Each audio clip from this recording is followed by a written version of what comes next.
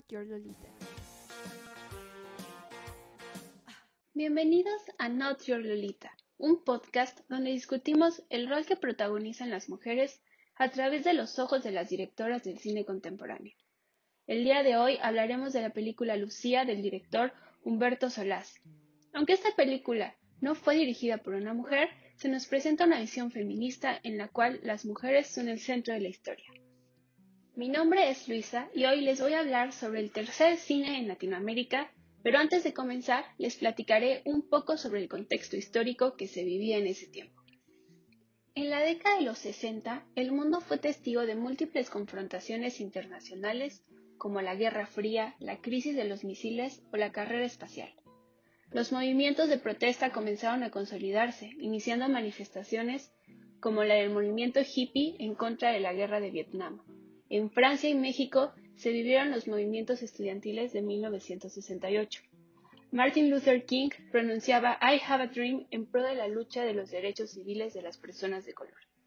La primavera en Praga fue un movimiento que luchaba por la liberación política en Checoslovaquia y en América Latina comenzaron a organizarse movimientos revolucionarios inspirados en la Revolución cubana o en el golpe de Estado contra Pinochet en Chile. Inspirados en crear un cine de la descolonización, nace el cine en Latinoamérica llamado el tercer cine, un movimiento que confronta la estructura comercial y consumista de Hollywood, cine que dominaba a nivel mundial. El propósito de este movimiento era el de reestructurar los modos de producción y exhibición, rompiendo con las normas propuestas por el cine americano, así como romper con los estándares del cine de espectáculo y diversión. El tercer cine buscaba ser un cine real, un cine de guerrillas, cine de causas y de actos. Este movimiento buscaba darle voz e importancia a los problemas políticos y sociales que se vivían en los países latinoamericanos rompiendo con la pasividad del espectador y llamándolo a la acción. Debido a los temas abordados, las películas del tercer cine fueron constantemente censuradas. En octubre de 1969, Fernando Solanas y Octavio Guetino escribieron un manifiesto llamado Hacia un tercer cine. En este documento definieron al tercer cine como la lucha antiimperialista de los pueblos del tercer mundo, el tercer cine es la más grande manifestación cultural, científica y artística del momento. El tercer cine es la gran oportunidad de construir desde cada pueblo una personalidad liberada, la descolonización de la cultura. Humberto Solás fue un director de cine, productor y guionista cubano. Formó parte del tercer cine en Latinoamérica y es recordado por su película Lucía de 1968, la cual forma parte de la filmografía más importante de este movimiento. ¿Quieres saber más sobre Lucía? Te dejo en compañía de mi compañera Karen, quien te contará más sobre esta gran película. Tienes que obedecerme a mí, oíste. Me vas a obedecer, coño. Yo voy a seguir trabajando y Sí, tú sí. me vas a dejar vivir y tú me vas Sí, a sí, querer y tú no vas a abusar más, coño. Tú estás muy equivocado. Porque tú vas a echar por el aro, coño. Por el aro. Así no, así no, así no. ¿De qué va Lucía? Nos narra la historia de tres mujeres de diferentes estatus sociales con nombre Lucía durante tres periodos cúspide en la historia cubana. La primera en 1895 durante la Guerra de Independencia, la segunda en 1932 durante el levantamiento contra la dictadura de Gerardo Machado y la última en la postrevolución en el año 1960. Pero, ¿qué es lo que las une además de su nombre? Entremos a detalle. La primera Lucía es una mujer de la aristocracia de La Habana que acaba de regresar de París, pero no vuelve sola, sino con un esposo aparentemente rico. Sin embargo, este lazo se ve afectado cuando Lucía se intercepta con Rafael, un soldado español quien dice no estar interesado en la política y solo quiere ser feliz. Es aquí cuando Lucía se divide entre quedarse dentro de su mundo doméstico con todas las mujeres con las que habita o escapar con Rafael atravesando un estado de guerra. Sin embargo, la Fernandina, una mujer de quien dicen que solía ser una monja que iba a los campos de batalla y ahora ronda por las calles, le ha advertido que no lo haga. La segunda Lucía es hija de una familia burguesa quien se muda con su madre a El Cayo para alejarse de los disturbios, y conoce a Aldo, un hombre quien le cuenta que junto a otros jóvenes cometieron un atentado como protesta en contra del gobierno de Machado. Lucía le cuenta que no confía en su madre y se la pasan discutiendo, ya que se dice que su padre tiene un amante y su madre tiene la impresión de que por eso las ha alejado de él. Tiempo después, Lucía se une a Aldo y se despide de su familia para defender los derechos de los trabajadores y para ayudar con el dinero en casa comienza a trabajar en una fábrica. Esto la lleva a entrar a un nuevo ambiente de ruptura política que le arrebatará lo que ama. Finalmente, la tercera Lucía es una joven recién casada que labora como campesina con otras mujeres. Sin embargo, Tomás, su esposo, le prohíbe seguir trabajando. Además, Aprovecha que Lucía haya bailado con otro hombre en una celebración, por lo que procede a encerrarla en casa. Pero con la llegada de una campaña de alfabetización, el maestro de Lucía le hace ver que su situación ha llegado al extremo y los habitantes del lugar hacen notar a Tomás que cada vez ven menos a Lucía. Tomás reacciona de manera violenta, por lo que Lucía decide abandonar el lugar para irse lejos a trabajar en otros campos, aunque puede que algo la retenga.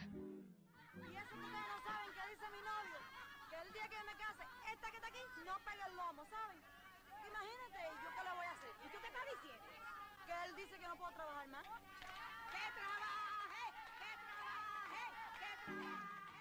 Hola, soy Monse y el día de hoy realizaré un análisis del rol de la mujer en la película Lucía. En esta edición de Not Your Lolita no estamos estudiando una película dirigida por una mujer, ya que no encontramos ninguna de esta corriente, lo cual en sí dice mucho sobre el rol de la mujer en esa época. Por eso elegimos esta película que lleva por título Lucía, un nombre femenino.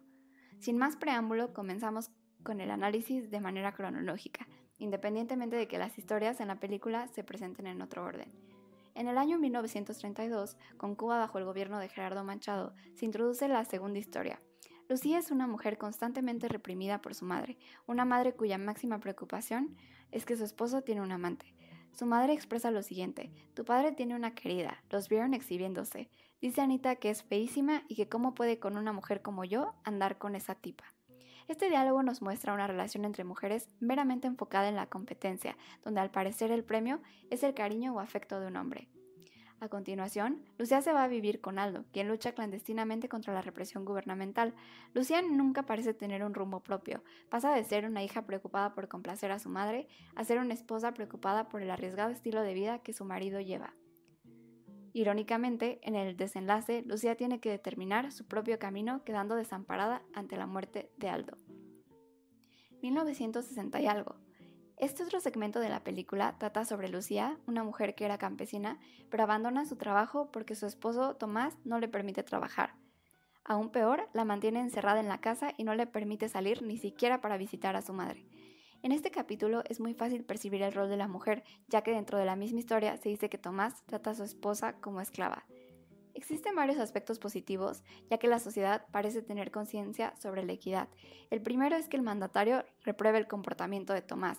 El segundo, que el alfabetizador también le comenta a Lucía que no debería de aceptar dicho trato por parte de Tomás. El tercero es que su mamá la apoya cuando ella decide escaparse.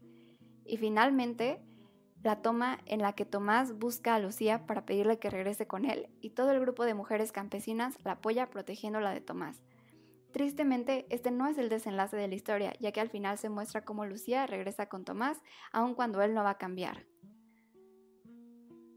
En 1985, ambientada en la época de la Guerra de Independencia de Cuba, se desarrolla la última historia cronológicamente, pero la primera presentada en la película. Ha pasado ya medio siglo desde el primer relato, pero el de la mujer en la sociedad sigue siendo básicamente el mismo, mujeres murmurando sobre otras mujeres. Se muestra una conversación a modo de cotillo sobre una violación, por supuesto nunca se usa este término. La narradora parece regocijarse al contar la historia sobre una monja abusada cuando fue a dar los santos óleos a unos soldados. Sin embargo, las imágenes en esta escena contrastan ya que resultan devastadoras e incluso personalmente me parecieron repulsivas. Al oír la historia, las mujeres las mujeres parecen tristes, incluso dejan salir unas lágrimas. Sin embargo, cuando se encuentran a Fernandina, la monja, quien ahora es una indigente que desvaría por las calles, la tratan con desprecio en lugar de apoyarla.